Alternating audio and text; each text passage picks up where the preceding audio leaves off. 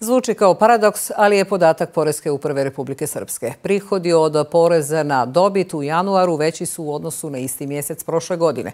I to ne bi bilo čudno da pandemija posljednjih 12 mjeseci nije značajno unazadila domaću i svjetsku ekonomiju. Ekonomisti i poslodavci kažu da je povećanje prihoda od ove vrste poreza ohrabrujuće, ali da treba sačekati podatak za cijelu prošlu godinu.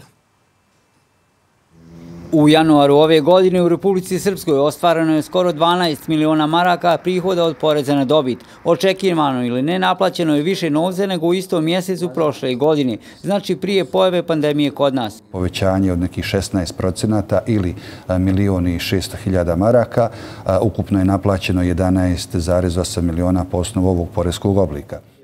To jeste iznenađenje obzirom da poredimo period prije i za vrijeme ekonomske krize izvane pandemijom, kažu ekonomisti i poslodavci, smatraju više razloga za to. Navode da jedan može da bude intenzivnija aktivnost Poreske uprave, ali i mjere za ublažavanje posljedica virusa korona na ekonomiju.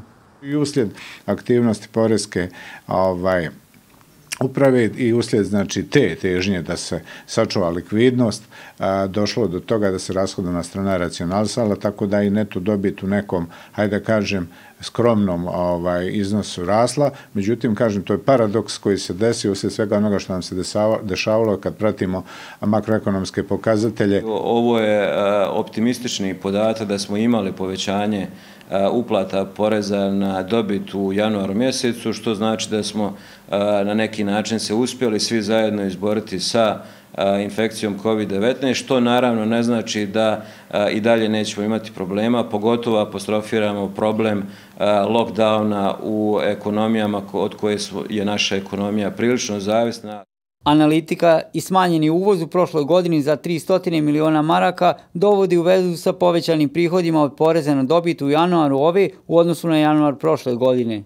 Znači da smo se jednim dijelom oslonili na unutrašnje resurse, da smo koristili domaće robe, što je zasigurno doprinjelo tome da ta neto dobit ima jedan veći volumen. U tom segmentu ovaj, potrebno je izvršiti određenu analitiku, ali to možda ćemo moći izvući i na bazi finanskih izvještaja kompanija koje djeluju u prehrambenom sektoru i da vidimo da li je rasla tražnja za njihovim proizvodima. Poslodavci smatriju da treba sačekati kraj februara kada preduzeća predaju finansijske izvještaje za prošlu godinu i vidjeti koliko će prihode od poreza na dobit biti za prethodnih 12 mjeseci.